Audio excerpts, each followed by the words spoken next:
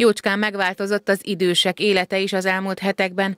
Számos korlátozó intézkedés érintette ezt a korosztályt a járványhelyzet idején, hogy milyen egyéni és közösségi hatásai voltak ezeknek, és milyen problémáik, nehézségeik alakulhattak ki a 60 év felettieknek, azt próbálja most kideríteni a Debreceni Egyetem Nyíregyházi Egészségügyi Karának új felmérése.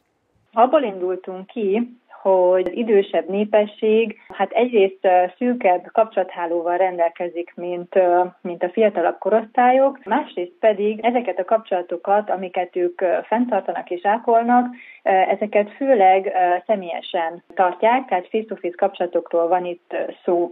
Na most, hogyha megnézzük járvány által hozott intézkedéseket, azt lehetett látni, hogy Első körben ugye a maradj otthon, ez jelentősen érintette nem csak az időseket nyilván, hanem az egész társadalmat, de hogy az időseknek még inkább befolyásolta a mindennapjait.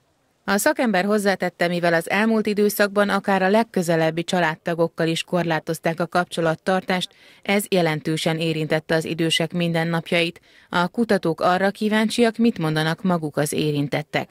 Első körben az országban működő megyei nyugdíjas szövetségek vezetőivel vették fel a kapcsolatot, majd az általuk ajánlott idős embereket keresték meg. A kapcsolattartás ennél a korosztálynál is egyre inkább áttevődik a modern technológiák nyújtotta lehetőségekre. A 30-60 perces beszélgetés során kitérnek az infokommunikációs eszközök idősek életében betöltött szerepére is, ezek megismerése sok esetben az unokákon keresztül történik, akik mind gyakrabban tanítják meg nagyszüleiket a Skype vagy más hasonló alkalmazás kezelésére, esetleg leselejtezett okostelefont adnak nekik.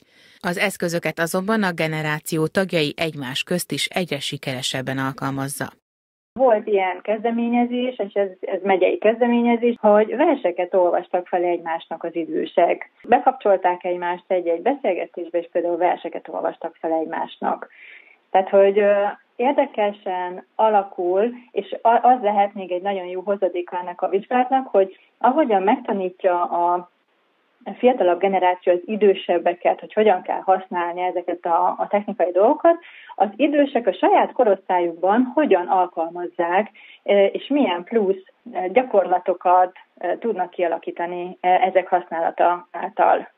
A nemrég kezdett kutatás adatfelvétele június végéig tart, az eredményeket a tervek szerint ősszel közlik majd. A szakemberek célja a jó gyakorlatok összegyűjtése, hogyha a járványnak egy újabb hulláma érkezne, ezeket ajánlásként fogalmazhassák meg az idősek érdekében, megakadályozva elmagányosodásukat.